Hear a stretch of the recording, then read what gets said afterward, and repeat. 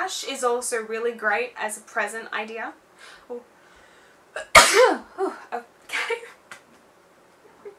Hey Munchies, it's the Gamer Untamed and Merry Christmas to everyone! I'm actually filming this video on Christmas but it is going to be coming up on Sunday or Monday depending on where you are in the world. But Merry Christmas nevertheless, we have had an awesome morning in my household. Lots of present exchanging and taking photos and my dad obsessing over his new phone. That's the norm. But what I'm going to be doing today is sharing with you my monthly favourites in a Christmas edition and before anyone starts going, oh no, this is another beauty thing, well it's not, there's only two beauty sections and they're not really beauty sections and the rest of it is kind of gaming, movie, book related. So I hope you enjoy and I'm going to be sharing with you a couple of my Christmas gifts throughout. So I hope you enjoy it. Okay, so the first one is what is my favourite beauty or hair care or body product and that one for this month is the Maybelline Nudes palette that I bought a couple weeks ago. I didn't get it for Christmas, this was something I bought prior to going to Adelaide for a week on holiday and I wore this a couple of shades in this palette quite a few times. So uh, obviously I'm not targeting boys when I'm talking about this. If I could get this open, that would be fantastic. I'm going to remove that. So what you've got in here, they're very neutral tones and I'm a very neutral person because of my eye colour and my hair colour. So you've got a lot of browns, some uh, one blue, some champagne and creamy colours, and there's even some golds in there, which is fabulous. So if you happen to watch my video and you're a girl, because guys, I don't think you'll particularly enjoy this, unless you do, that's fine, I'm not judging. But perhaps you'd like to get this for your birthday because it's really, it's a really nice palette gorgeous colours. So number two is what is my favourite fashion item and it's actually a dress that I got for Christmas and it is what I am wearing this second. I absolutely love this dress. The collar, the one that goes right up to your neck, the plunging neckline. I really love the colours, the blue and the white. My dad said it makes me look like an old Greek lady. I disagree. I think it's a very charming dress, very elegant, very sweet, and it goes right up to the knee, except mainly for me because I'm short. But I definitely recommend wearing heels with it to uh, lengthen your legs if you're short, like me. If not, go with flats, you'll look fine. So number three is what is my favourite TV show or movie that I've watched this month and without a doubt it has to be Blindspot. I am absolutely obsessed with this show. It stars Sullivan Stapleton who is from Strike Back and he's Australian and also Jaimie Alexander who we know from Thor. I absolutely love this show. I rarely ever get into CSI um, crime television dramas that are in, set in modern day but I'm so obsessed with the character of Jane Doe. I mean, with a name, Jane Doe, and all her tattoos, they are so punk that I've never used that word. They just, I love her tattoos. If I could just be falsely tatted for a day, I would have all of her tattoos. The show is totally engrossing. I watched all of the first half of the first season in December and now I can't wait for February. I am just like sitting on the edge of my seat to find out what happens in this show. So I definitely recommend it. Watch it. It's, it's, a, it's on Netflix, of course go for it. number four is the favourite song that I have listened to this month and without a doubt it has to be Right Here by Ashes Remain. And I've never heard of this band before in my life. I'm sure this is an old song but I was browsing through YouTube looking at Blindspot clips and I found this tribute to um, the characters in Blindspot Jane and Kurt. And this song was playing over one of them and I just died with emotions because I thought it was so poignant and adorable and I had to find this song. I can't play it for you because of copyright rules but you should definitely definitely check it out. I'll leave a link to whoops, I'll leave a link to a video clip or a, or the video itself down below. I am so geeky for even looking this up in the first place. It's a great song, I love the beat, I love the emotions that it has in it. It's quite a raw song to be honest. Number five is my favourite food and I'm going with something new that I've tried that I haven't had before. Since I'm an incredibly fussy eater, I find it really hard to go for it and eat new foods but I've recently had calamari and that's what I'm talking about but when I was in Adelaide I ordered this dish and it was this oven baked chicken with this saffron risotto and it's basically like risotto but made from pearl barley. So it's a very soft rice. Um, it was actually quite nice, surprising to me, because I absolutely thought I wouldn't like it. Actually ate quite a bit of it, thought it was pretty delicious, and I'm probably going to eat it again. Number six is my favourite book or thing that I've read this month and it definitely has to be um, a few of the short stories from Chimamanda Adichie's The Thing Around Your Neck which I've had to read for school.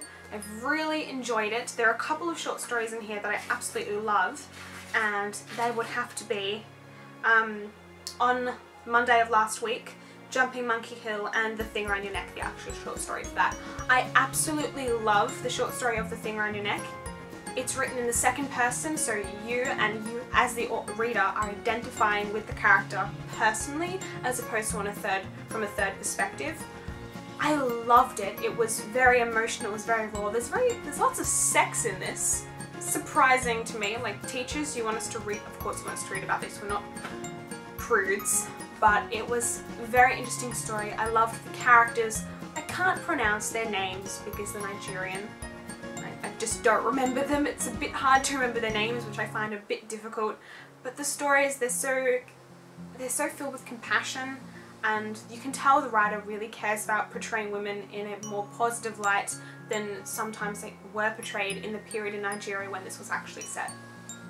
So number seven is my favourite moment or place and this is quite a tricky one but I've settled on when I had a spontaneous pool party at my house and I had a lot of friends over that I don't usually interact with on a regular basis and it was really nice just to get to relax and play around in the pool and the water and just lounge about with people that I don't always talk to and it was just great to like chat with them and have a nice conversation and play around and they can definitely come back because it was super fun. Finally, number 8 is the favourite game that I have played this month and without a doubt it has to be Fallout 4. If you haven't seen my review, I'll leave a link to it below, but Bethesda are the masters of creating expansive sandbox video games. If you want to spend hours and hours on end in a video game that is very realistic and authentic and it's very immersive, definitely pick up Fallout 4. Huge love of it. But just for the last few minutes, I'm just going to show you some of the gifts that I got this year for Christmas. Maybe there'll be great gift ideas next year for Christmas for anyone, so definitely stick around for that. So some of the things that I received this year for Christmas gifts are as follows, and I definitely recommend these for almost any person. The first few couple I would definitely just recommend for girls. Uh, speaking of, this beautiful bag I've got from my nonna. It is pure Italian leather. She bought it from Italy when we went a couple years ago and unfortunately has never used it. I've had my eye on this bag for ages and she surprised me by giving this bag to me for Christmas. It is so beautiful. It smells amazing. Whew, really leathery. It's not a huge bag. It's got some nice zips in here. You know, it's pretty big, but it's not huge. And it's got some nice extra, extra pocket space for us girls because we like to carry lots of stuff. As well, I, this is ironic because I almost knew what every, every one of my gifts were because I wrapped them myself. I actually bought these shoes a while ago and I have the tan pair and I wrapped them because I knew that I'll just, I'll just get it for myself for Christmas. So these are by Isabella something. Anselmi. I'm terrible. I'm a terrible Italian apparently. And they just they're just these black ordinary sandals. Can't go wrong with black sandals really. They're pretty pretty. I've also got some gift cards and I need to show you that. So gift cards are always a great gift to get. I've got some Peter Alexander uh, gift cards to get some more pyjamas. Since I basically live in my pyjamas, I might as well get some more. I've also got a DVD of Jane Eyre because I absolutely love the uh, book, I love the movie, and now I have the TV series. Cash is also really great as a present idea. You can't go wrong with money. But where can you go wrong with an inflatable swan? I mean, if you don't have a pool, you're probably not going to have much to do with it. But it's a great gift idea. I mean, they come with lots of things. Like you can get a duck and you can get an ice cream and a flamingo and a pineapple and Moby Dick and a watermelon and even a toucan. I mean they come in so many different shapes and sizes but I decided we'll just get the white swan since it'll most likely reflect the heat as opposed to all the other bright colours. I mean I obviously have this because I have a pool and I can just lounge on it. I mean, it's supposed to be huge, and I'm tiny, so you could probably fit three people on this one thing. It's supposed to be 54 inches by 37 inches. That's quite large. Like, and a few more centimetres to it, and it'll be taller than me. Like, whoa, like in width. But this is definitely a great present idea. I mean, even if you go to the, if you like to go to the beach and lounge around, it's fantastic.